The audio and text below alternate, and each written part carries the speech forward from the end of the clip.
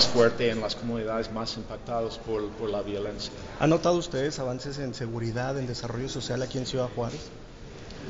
Bueno, durante los últimos años en que nosotros hemos tenido pro- programas, eh, hemos tenido muchas oportunidades de apoyar iniciativas de la sociedad civil y de las comunidades forenses. Y yo creo que hay una, una capacidad y una experiencia en, en en, en estas organizaciones que se puede ah, establecer como modelo para otras partes de- del país. Es decir, que los esfuerzos de, de mejorar la seguridad es responsabilidad y, y hay capacidades en las propias comunidades para, para ese esfuerzo y hemos encontrado varios aliados y capacidades aquí en, en Juárez que, que podemos apoyar.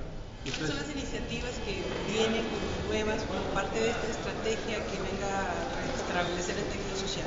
Bueno, vamos, eh, como vamos a escuchar un poco, en un poco más detalle hoy y, y- y podemos proveer más, más información también, hemos eh, involucrado a tres comunidades en, en Ciudad Juárez, son de los polígonos de Francisco y Madero, Felipe Ángeles y Riveras del Bravo, en un proceso de desarrollar planes maestros, de identificar la- las prioridades y las necesidades ah, sociales, pero con un, con un ojo hacia la, la- seguridad en estas comunidades. Nosotros no vamos a financiar todos estos esfuerzos, es más un proceso de, de movilizar la comunidad, de identificar las, las necesidades. En algunas partes, en algunos casos, podemos apoyar los proyectos en sí.